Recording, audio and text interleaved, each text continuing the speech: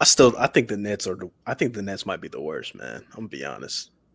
Yeah, they they've got themselves a bit of a dumpster fire. The fact that if true, if these reports of wanting to build around Mikal Bridges, they there's no way that this is legitimately an outlook from a professional NBA front office. Like I love build Mikal. with Mikal is like your third option.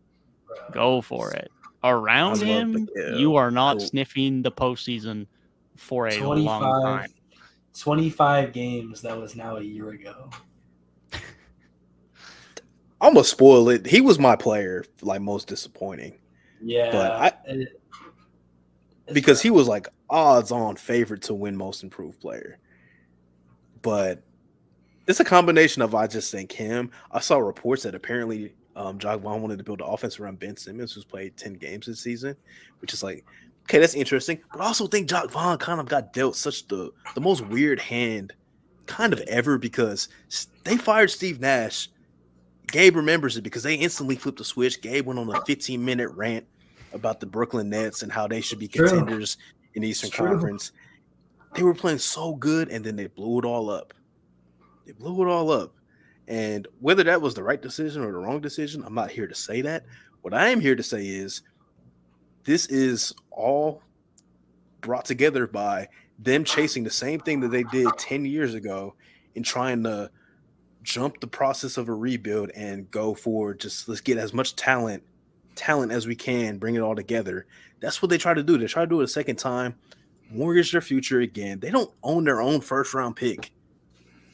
Guys until 2029 when i looked at when i looked that up i was kind of in shock they don't own their own first round pick until 2029 this is just that's why they're in this position where they're thinking Jacque Vaughn's not getting it done. We have talent. This team should be better than what they are. So we have to try and still be somewhat good because we don't have our picks and we also can't jumpstart a rebuild. Like we're just in Is a terrible eighth grader? situation. Is that an eighth grader? Yes. 2029, yes. These Yes. boys are in purgatory until the next decade. They're in That's hell. They're in basketball hell right now, man. Like That's crazy. Oh my god, bro! it's back. They- They're the team for me, man. They are Purgatory, hell. purgatory is back. bro. There's they're really bad. I hope Kevin Ollie does a good job because I think he's somebody that's kind of deserved a head coaching um, shot in the NBA. So I hope he does a good job. And they got some players I like over there. I love Cam Johnson. I love Dennis Smith Jr. I like Mikal Bridges too. Nick Claxton. They got good players, but they don't have a building block on that team to save their life. They don't. Are they the worst, or are they worse than Chicago? At 'Cause least Chicago, have their uh, picks now. Yeah, Chicago are like argue like objective. Yeah, they're weird too. Chicago's assets, their asset pool is much better. Way better. They Especially- they could jump. They could especially jumpstart their rebuild if they wanted to.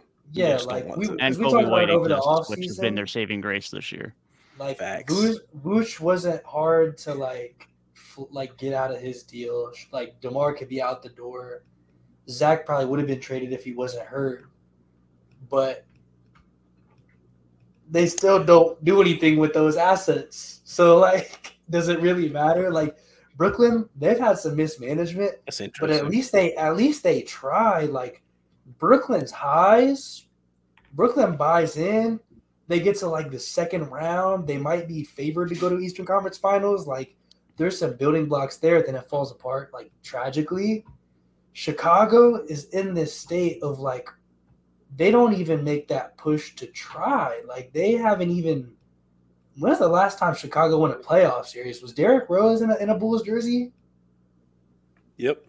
Like they don't even be trying. Like they have the assets, but what are they gonna do with it? Nothing. That's In the- true, but In their defense, they tried when they got Lonzo and Demar, but I mean, were we, we know how that ended, team. unfortunately. But they were well, they good. were a good team for Lonzo's 30 injury. games. I'm not saying Here's they my- were going to be great, but like they maybe might have won a playoff series. Nothing more than that, but they might have won a playoff series. Maybe I don't think they would have personally, But the pace the, the pace they were at, they would have played maybe y'all in the first round, the Raptors, maybe. Yeah, depending on matchup, they would have had a chance. Winnable series. Yeah. Yeah. See, my thing is though, yes, they they have the asset pool to jumpstart their rebuild. They won't do it. That's that's bad management, but at least they at least they got something. So they might just get to a situation where they have no other choice but to do it, and they might not have get the same assets in return that they would get right now, but it's something. The Nets have nothing. They have nothing. They could trade Mikal Bridges if they wanted to, which I think they probably should, to be honest. Because He should be like, gone. Dorian Finney Smith should be gone. all those guys that are good players that can go help a contending team, get rid of those guys. But trading No, Spencer Dinwiddie for Dennis Smith Jr. Like, what are we doing? What the hell are we doing, man? Like, that just makes no sense.